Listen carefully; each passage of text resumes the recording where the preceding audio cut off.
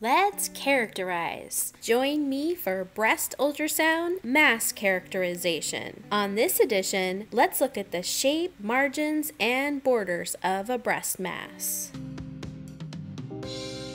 Let's discuss breast mass shape. Shape is the form or structure of a mass. There's three shapes in breast ultrasound imaging oval, round, and irregular. Benign shapes are oval or round, and benign shapes displace surrounding tissues. Malignant shapes are round or irregular. Malignant shapes invade surrounding tissues. One thing to note about round shapes round can be either a benign or a malignant shape. With a round mass, the AP dimension or the height of the mass is increased compared to an oval mass. This can be a sign that a mass is starting to not respect the tissue planes and starting to grow more vertically in the tissue. The margins or edges of a breast mass are our next characterizing feature. First, let's talk benign breast mass margins. Circumscribed margins are well defined margins. They're smooth margins. You can trace the outline of the margin all the way around the mass. And there's an abrupt transition between the mass and the surrounding tissues. And it's clear that the mass is displacing the tissue planes. Next, we have macrolobulated margins. This is when a mass has three or less large lobulations, and lobulations are a rounded projection from a mass.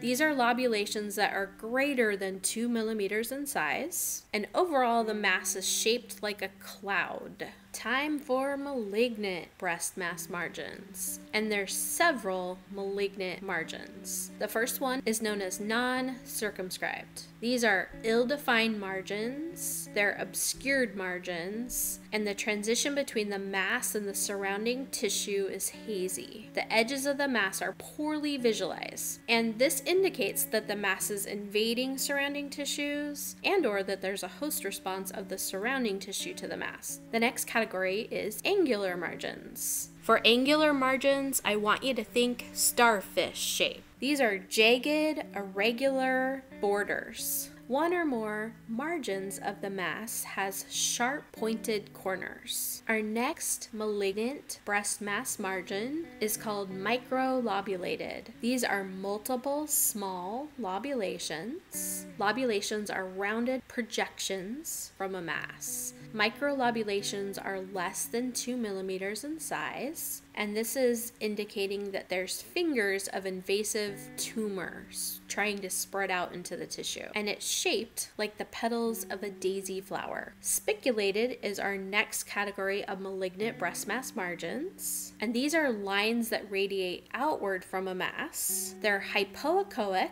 when they're surrounded by glandular tissue, or they can be hyperechoic when surrounded by fat. When the spicules are not fully developed, an echogenic halo can be seen around the mass, and this is the most suspicious malignant mass margin. It's the feature most indicative of tumor invasion into the surrounding tissues. And for this mass margin, I want you to think of an octopus. It's shaped like an octopus. The next method of characterizing a breast mass on ultrasound is by looking at the borders of the mass. The border is the characteristics of the tissue that immediately surrounds a mass. And for the border, the echogenicity and the thickness of the border are important breast ultrasound characteristics. First, let's look at benign borders. There's three types of benign borders. The first type is no border, which is known as no capsule around a mass. This means that the breast mass has no echogenic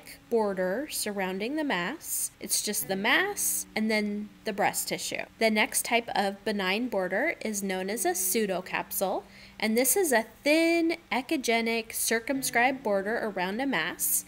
It looks like a bright, hyperechoic white line. It's important to note that histologically, if you look under a microscope, however, that a pseudocapsule is known as a pseudocapsule because histologically it's not a true capsule that surrounds the mass. Although on ultrasound, it looks like a fully contained echogenic border around a mass. The third type of benign border is a true capsule, and a true capsule is a thin, circumscribed, hyperechoic border around a mass. It's indistinguishable from a pseudocapsule on the ultrasound. However, if you look histologically under the microscope, a true capsule forms an actual capsule or border completely around the mass containing the mass. In the breast, the only mass that has a true capsule histologically is a lipoma.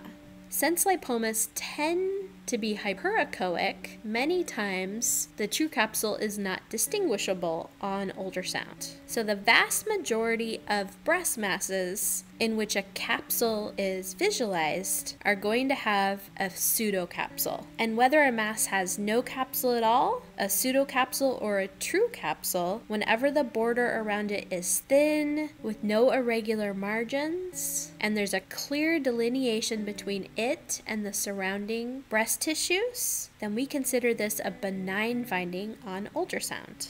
Now let's look at malignant borders. There's one type of malignant border on a breast ultrasound, and this is known as desmoplasia, which is a thick, hyperechoic halo around a mass. It's going to have hazy, irregularly shaped borders with angular margins to it. It's going to be hard to delineate where some of the margins of the halo are, and this indicates that the tumor is infiltrating the surrounding tissue and the tissue is fighting back via a host response. Note that when measuring a mass and desmoplasia is visualized, the desmoplasia should be included within the measurements of the mass. With desmoplasia, the mass is trying to expand via spiculated, angular, and microlobulated borders, and the body has launched a host response in which it's created fibrosis around the mass in an effort to try to stop the growth of the mass. It's a combination of these irregular mass margins